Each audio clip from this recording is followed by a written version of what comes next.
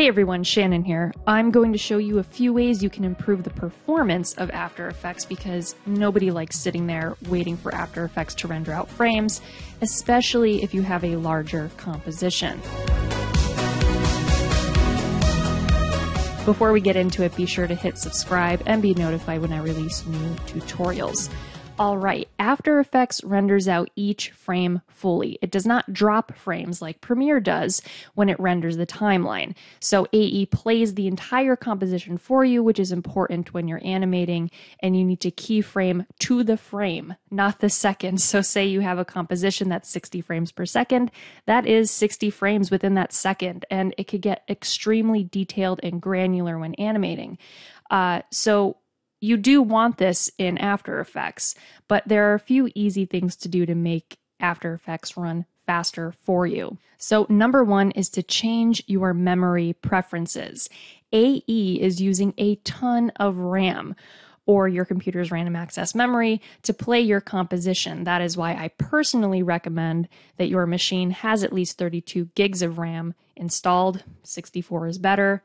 The more detailed compositions, the more RAM is required, or AE is just going to choke. Uh, so if we go to our top menu and select Edit, Preferences, Memory, and Performance, we can see how much RAM is installed on our machine and how much of that RAM is allocated to Adobe applications like After Effects. You can see I have 128 gigs of RAM installed on my main video editing machine. Crazy, but it helps me so much because when I'm using Premiere, and After Effects at the same time. I'm using Dynamic Link, maybe Audition is open, and I have Photoshop open, all at a given time to work on videos for clients. So we can change how much RAM we want to allow After Effects to soak up. I gave 24 gigs to all of my other computer applications when I'm running Adobe, uh, it pretty much takes the rest of that. To change this, just click on the number of gigs you want your other apps to have.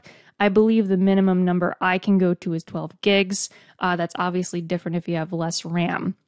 So, this is going to help you a lot. It lets After Effects know, hey, I'm going to eat up all this memory so I can render a smoother composition.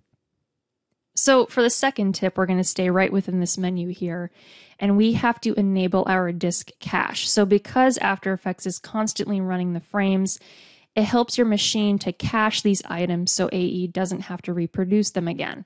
So while we're in this box, we will go to Media and Disk Cache. Be sure to check Enable Disk Cache.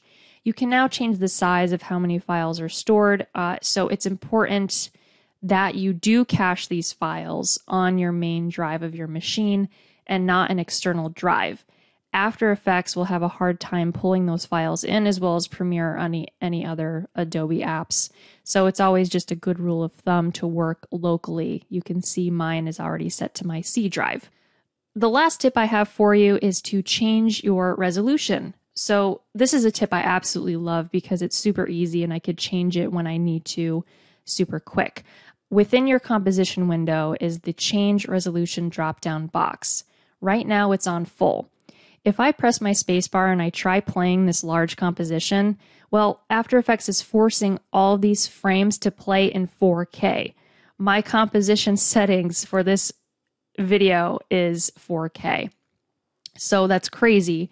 Uh, it's trying to render out all of these intricate animations in 4K resolution. Uh, we don't necessarily need to edit in high resolution the whole time. I can click that resolution box and drop it down to, let's say, a quarter. This lowers the resolution to one fourth of the original. So I'm basically viewing it in standard definition. So when I play it, uh, it runs much, much faster. I can see how my animations flow in and what I need to change. So there you go. If you're looking for quick ways to make After Effects run faster, this is it. If you'd like to learn video editing right alongside me, then check out my online course on Skillshare. Please take a second to subscribe, like, or comment. Thanks for watching.